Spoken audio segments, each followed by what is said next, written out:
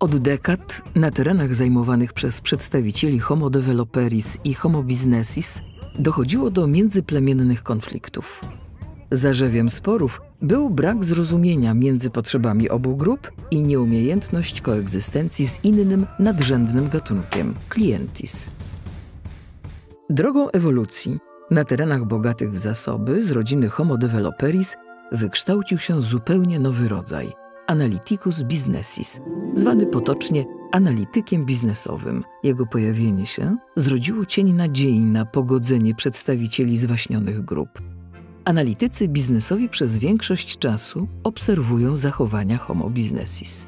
Ich spostrzegawczość i zdolność wnioskowania sprawia, że potrafią zrozumieć, dlaczego u nich działa nie zawsze jest odpowiedzią na godowe zawołanie ma być na wczoraj. Dzięki tym zdolnościom stanowią naturalny pomost między oboma gatunkami. Relacje Homo developeris z grupą analityków biznesowych bywają skomplikowane. Część osobników docenia korzyści płynące z koegzystencji, takie jak możliwość skupienia się na zadaniach w obrębie własnego stada i skorzystania z narzędzi oferowanych przez Analyticus Businessis.